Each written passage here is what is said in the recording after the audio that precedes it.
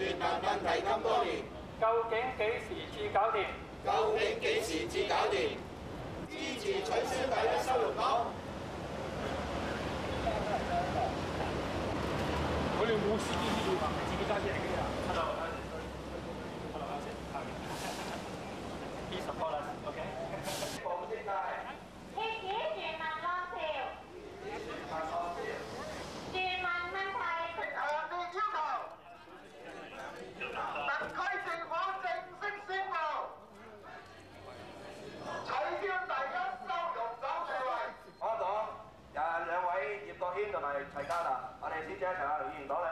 I think now the Vietnamese problem is one of illegal immigration.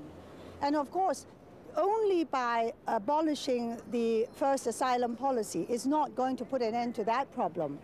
What it will do is to send a clear message to Vietnam and to the rest of the world that we are no longer a port of first asylum. And hopefully that will deter some of the people who want to leave Vietnam for Hong Kong not to do so.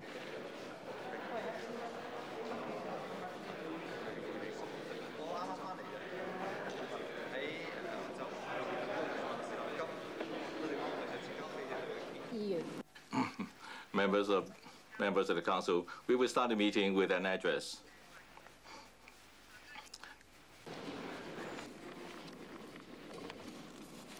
I think we all understand one thing, and that is for Vietnamese migrants who are coming to Hong Kong now, they are no longer refugees. They can only be regarded as economic migrants. They have not come to Hong Kong through legal channels, and they can only be regarded as unwelcomed illegal immigrants. It seems that the only remaining obstacle comes from our government. Now we still have over a thousand refugees stranded in Hong Kong.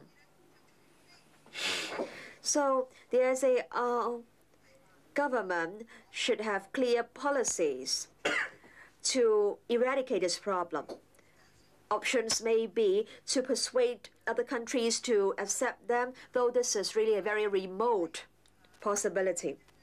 Or say we may persuade them to return to Vietnam voluntarily. This is by no means an easy task.